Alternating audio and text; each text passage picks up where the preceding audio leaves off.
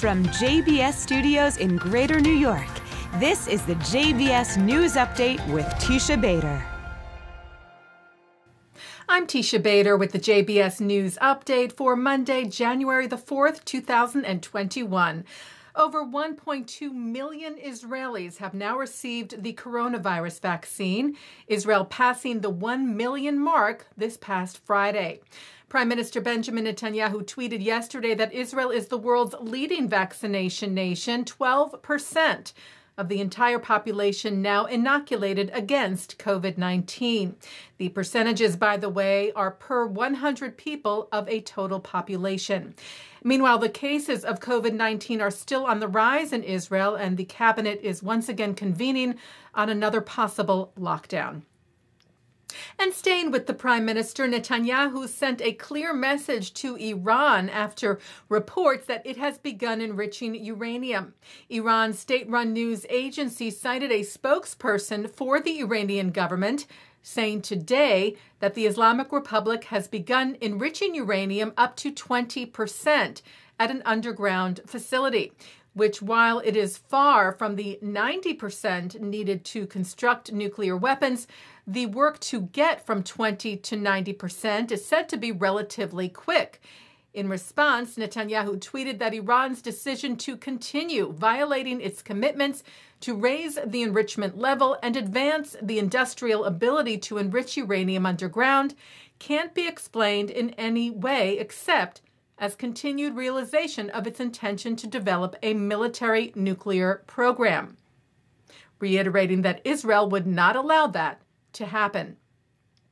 And Defense Minister Benny Gantz also warned in a video statement today that Iran is a challenge to the world, to the region, and to Israel. And Israel cannot allow Iran to go nuclear and advance its other ambitions. Gantz called for the entire world to step up pressure. The IDF arrested several Palestinians suspected in throwing rocks at an Israeli vehicle in the West Bank today. One of the rocks hit an Israeli woman in the head while she was driving with her children in the car, seriously injuring her. She was taken to the hospital where she remains in serious condition.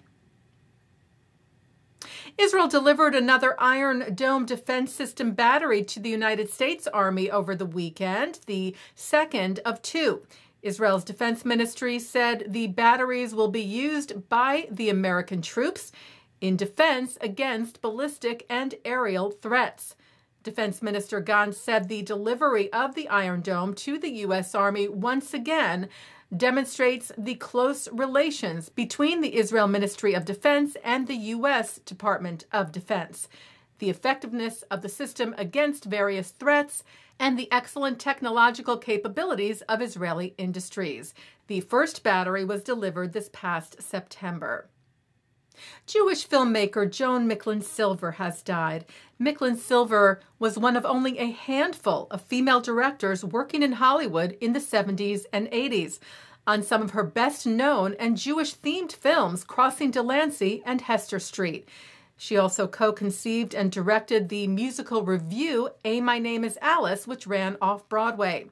Micklin Silver was also the daughter in law of the late renowned Rabbi Abba Hillel Silver, who served a central role in the early Zionist movement. Joan Micklin Silver died Thursday from vascular dementia. She was 85.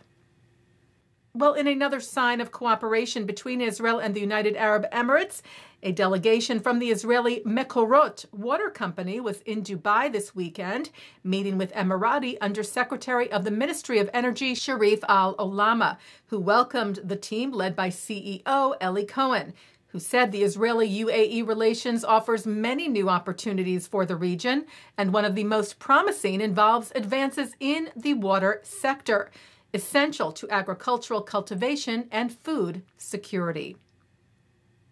Jewish groups lauded the U.S. House of Representatives for its unanimous passage this past Thursday of the legislation elevating the special envoy to monitor and combat anti Semitism position to that of ambassador. B'nai B'rith International praised the passage and said the bill provides new resources to bolster the vital fight against global anti Semitism. The leaders of the Conference of Presidents of Major American Jewish Organizations, Arthur Stark, William Daroff, and Malcolm Hoenlein, thanked the original bipartisan co sponsors of the bill, Chris Smith, Brad Schneider, and Eliot Engel, as well as Nancy Pelosi, Kevin McCarthy, and Steny Hoyer, saying that the enhancing of this position would represent further recognition by the U.S. government of the critical importance of having an official representative to lead in combating the scourge of Jew hatred. Taking a look now at our programming for tonight on JBS for Monday, January the 4th. At 7 o'clock, it's The Wisdom of Dr. Ruth. At 7.15, it's the story of the creation of the Talmud on today's Jewish Story Explained. At 7:30, author Meryl Ain reads from her novel The Takeaway Men for Jewish Book Month with Rabbi Avraham Bronstein from the Hampton Synagogue.